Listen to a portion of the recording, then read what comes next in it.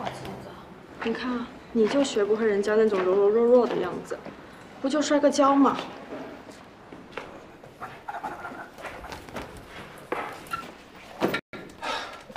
你有水杯没啊？我给你倒点热水，先吃消炎药。热水？这种天气？哦，那我去给你买矿泉水啊。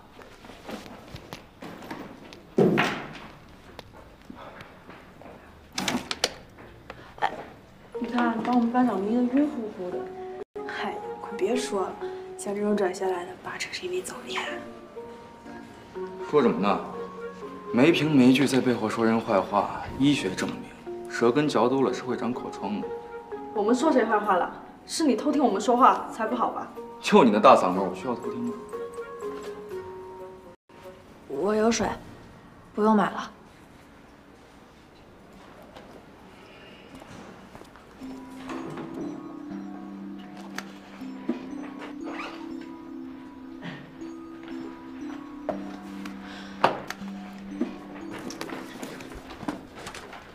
你有病吧？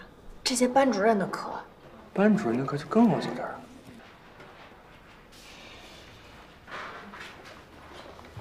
付信浩真的挺奇怪的，他以前只关心学习的，怎么突然这么关心韩飞啊？所以我才问你啊。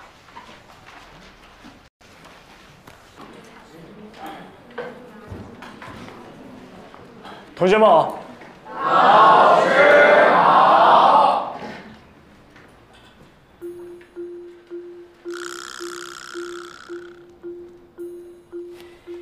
好了，我们把课本翻到三十二页。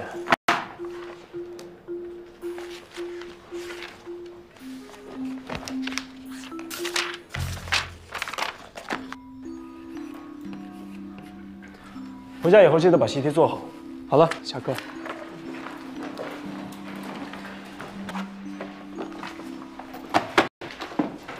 跟我到办公室。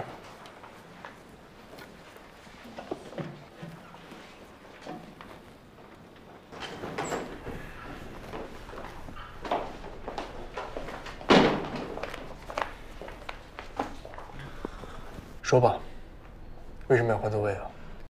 韩飞和王楚彤关系不好，他们俩坐在一起会影响学习。同学关系不好，我们应该主动引导他们俩和好。你这样把他们俩隔开，他们不是跟我隔阂吗？韩飞不一样，大家对他好像有些什么误会。有什么误会啊？老师，你知道韩飞为什么转学吗？你问这个做什么呀？呃，没有，就是关心一下同学。我听大家说他好像是因为早恋。没有的事儿。韩飞是个好学生，他只不过是在学习上不那么积极而已。你其实跟他坐在一块儿吧，也挺好的，可以带动一下他学习上的积极性。他今天上课是不是又睡觉了？哦，他今天早上从楼梯上摔下来了，把脚摔伤了。老师，你知道他家在哪吗？我送他回去。你送他回去啊？进。报告。进来吧。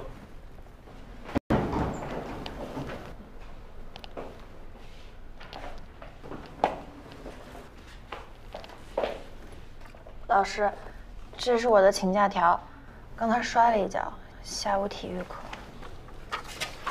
那好，受伤了就好好休息。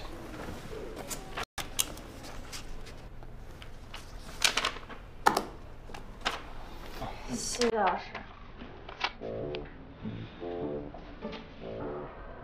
再乱打听我们家的事儿，信不信我打断你的腿？